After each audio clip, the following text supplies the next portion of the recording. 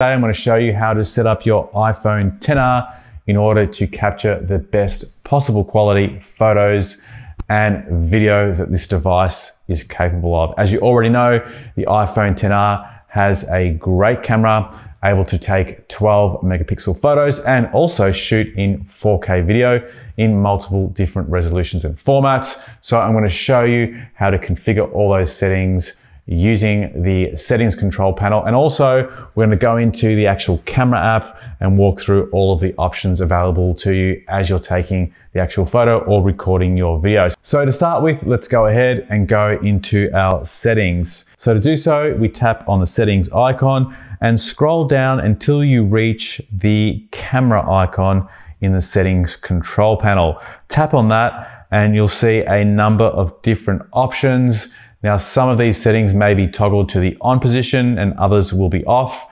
And I'll walk through and explain what each of these mean as we go along. Now, the first one is preserve settings. This is for convenience where the camera app will preserve your most frequently used settings. So for example, if you tend to use one type of camera mode all the time, it might be video or square mode or regular photo mode, each time you open the camera app, this setting will be preserved. So if you're always taking video and you've got the camera mode preserve setting on, then the video option will be the first thing that appears when you open your camera app.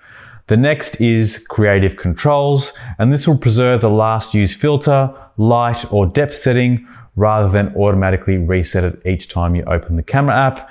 And you can also preserve the live photo setting rather than automatically reset to live photo as turned on. So preserve settings is really just a matter of convenience. The next one is the grid option, which will display a grid in your camera viewfinder that is really useful in terms of lining up a composition when you're taking photos. So that's highly recommended to have that setting turned to on. Another feature which came out recently on the iPhone is the ability to recognize QR codes and you can have this set to on or off depending on whether you want to use it or not. I'll definitely leave it turned to on. Now each time you come across a QR code, which is a strange little symbol that you've probably seen on packaging, websites, posters, perhaps in a supermarket. And if you point your camera towards one of these QR codes, it will take you to a web link automatically. So that's a really convenient feature to have turned on.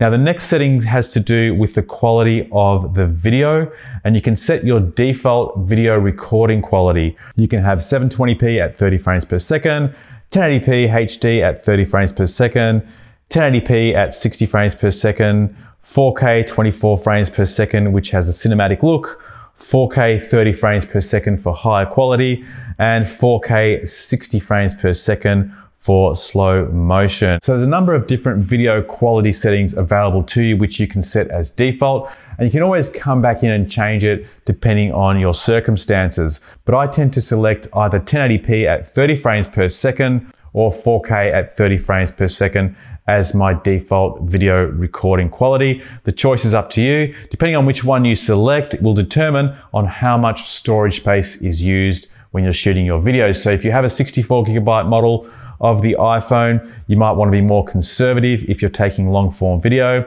and scale it down to 1080p. If you have a high capacity iPhone, you might want to consider shooting it at 4K. The next setting pertains to the recording quality when you're in slow motion mode. You can select one of three options here, 1080p at 120 frames per second, 720p, which is half HD at 240 frames per second, or you can go into high efficiency 240 frames per second at full HD 1080p, which is probably the preferred choice for slow motion. It's going to give you the best quality video and the most noticeable slow motion effect. But keep in mind that will consume a lot more storage. It needs 480 megabytes per one minute of video footage, whereas the other options will only use 300 or 350 megabytes. So if you are tight for space, you might want to be conservative on your setting there. If you've got plenty of storage available, certainly go for the 1080p HD at 240 frames per second.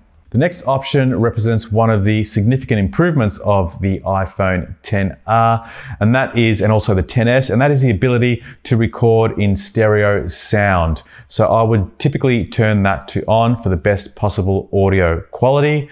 And the next one is the format. You can either select to record the most compatible video footage, which means you can share it with other people on different devices, or you can choose high efficiency, which will conserve your storage capacity, produce better quality, but you might have some issues if you need to share it around and you don't have the appropriate software to convert the video. So for most people, you'd probably leave it in the most compatible setting mode. And finally, we're going to take a look at Smart HDR, which stands for High Dynamic Range.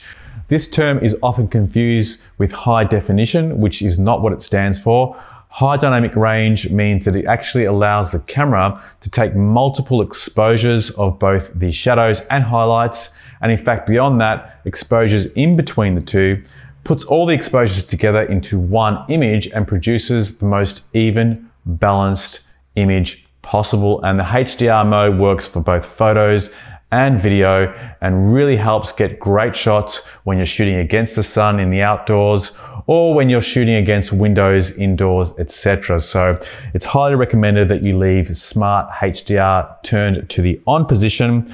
And for some of you, you might want to also select the next option to be turned on, which is to keep the normal photos. So that means that as well as taking a photo using the Smart HDR, AI algorithms, you will also keep a regular photo in your camera library for you to access should you wish to see the photo without HDR applied to it. So that pretty much covers all of the behind the scenes settings that you need to configure for optimal performance of the camera. Now we're going to take a look at how to actually use the camera app. For those of you that have had an iPhone in the past, it's not going to be much different from what you've used before. But if you're new to the iPhone and you want to see how to use the camera, stick around and I'm going to show you each of the different settings available to you as you're using the camera app. First of all, to access your camera, you can look out for the camera icon on your home screen and tap on it and you'll get straight into the camera. But if you want a more direct, easier way to access your camera when your iPhone is turned off, simply tap on the button to the right of your iPhone to activate the lock screen. And then on the bottom right hand corner, you'll see the icon of the camera appear. To the left of it is a flashlight to activate a torch. So the one we want is the camera icon. And to get this to work, you need to tap and hold it for at least one second. And this will open your camera app once you let go. So tap and hold and then let go, and that will activate the camera app. By default, the camera app will be on photo mode. At the top of the screen, there's a number of different icons. To the left, you'll see the flash setting, which is usually set to auto. You can have this to on so that it will always fire, even if it's not needed or you can turn it off so that it never fires. But usually I would recommend just leaving that on auto. The next option is for live photo. And again, that's usually turned on and live photo will take a number of different shots of your image so that you get some motion in your photo when, when you play it back later in the camera library. If you don't want to have live photo, simply turn that to off. Next is the timer and you can set it to three second timer or a 10 second timer. And finally, you have the custom filters, which allows you to select different types of color effects on your photos, which you can take as you're taking the photo, or you can do this later when you're editing the photo. I normally leave the original mode on as I like to see the photo the way it actually is in real life. And then I'll go into my editing of the photo later to adjust the filters, but the choice is up to you. Now, just under the viewfinder is a submenu option, which allows us to swipe and select the different modes of the camera. So if I swipe across to the right, you'll notice the menu moves left and we go from photo mode into our video mode. And on the top right hand corner, you'll see a display of the video format that you had selected in the settings area. I left it on 4K 30 frames per second, so that will indicate that I'm shooting in that type of quality. Now, by the way, if I switch over to selfie mode or front facing camera, you'll notice that that 4K setting will go away as 4K is only available using the back camera on the iPhone.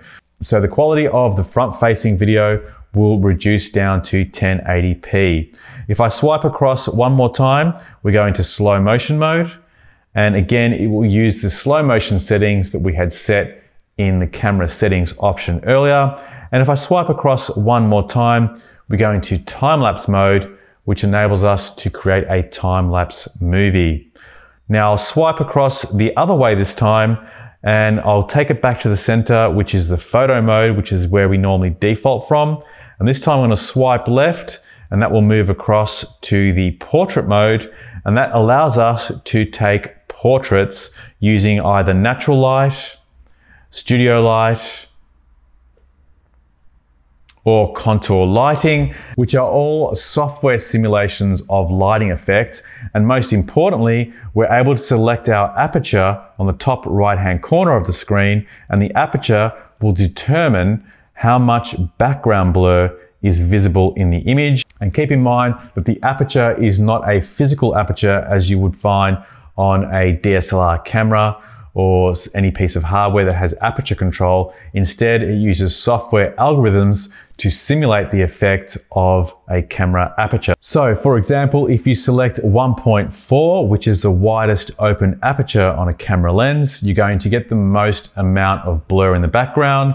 And if you slide across to f16, it's going to represent the smallest aperture which will provide the least amount of background blur in the image, meaning that both your subject matter and the background will be completely in focus.